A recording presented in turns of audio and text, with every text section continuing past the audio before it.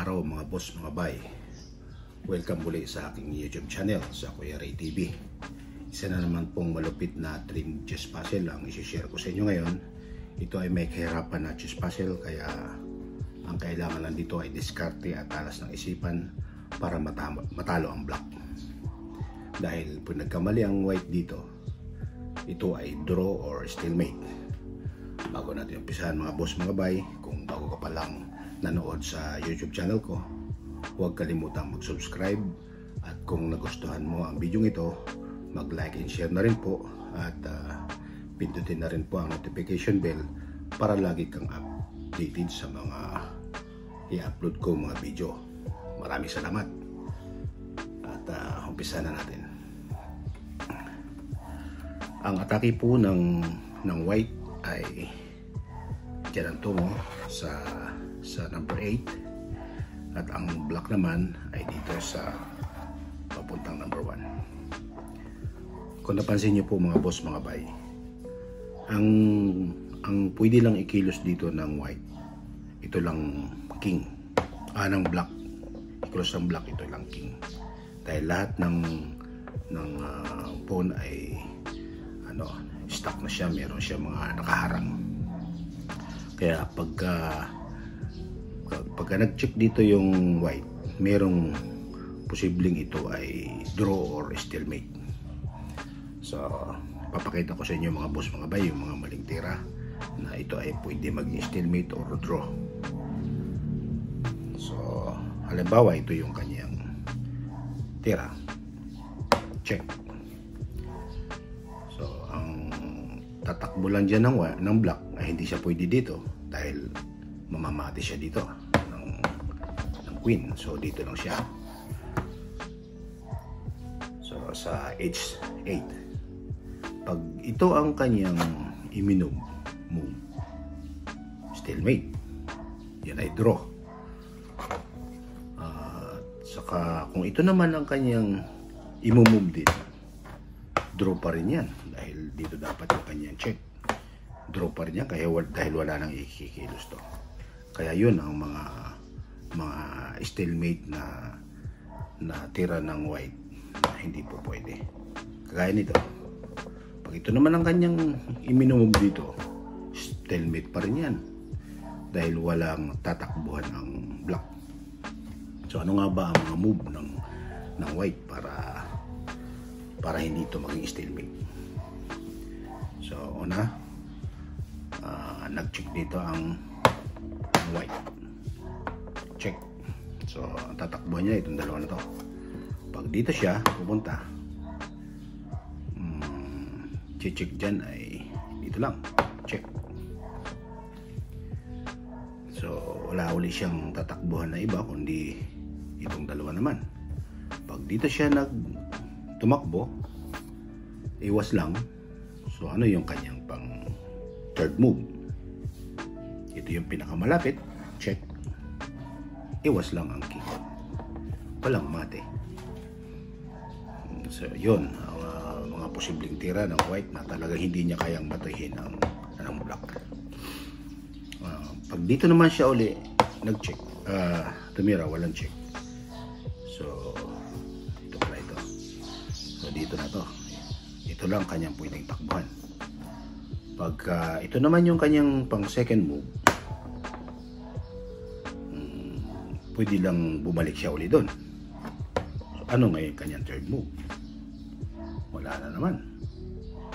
Pag dumikit siya dyan, iwas lang uli. Walang mate. Di ba? So ano pa? Uh, pagka pagka dito naman siya tumira, so, tatakbuhan lang dyan ng white ay ito. Ito lang. Uh, pagka ito naman ang kanyang iminog. So, iwas lang. Ah, dito lang siya sa sa E7. Ano ngayon ang pan-third move ng white?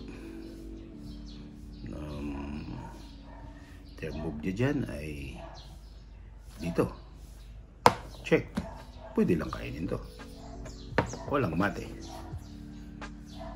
Yun, yun mga boss, mga bay, ang mga posibleng tira ng white na talagang hindi niya kayang matiin. So ano ba talaga ang tamang move ng white na 3 moves lang talagang mati talaga dito yung ano, yung block. Ba't natin to? Pagka ito naman ang kanyang itinira, stalemate na naman. Wala na pwede i-move ang block. So hindi po pwede, hindi makakalabas to. So, yun mga boss, mga bay, ang uh, mga posibleng tira ng white na na hindi talaga niyang matiin. So, pwede niyo pong muling i-post mga bay ang video ito para makita niyo rin po kung ano yung tamang move na pangmati talaga. So, diskarte lang po talaga ang kailangan dito para mamati ang block. So, magbibigay po ulit ako ng mga ilang segundo para po makita ninyo kung ano talaga ang move na pangmate.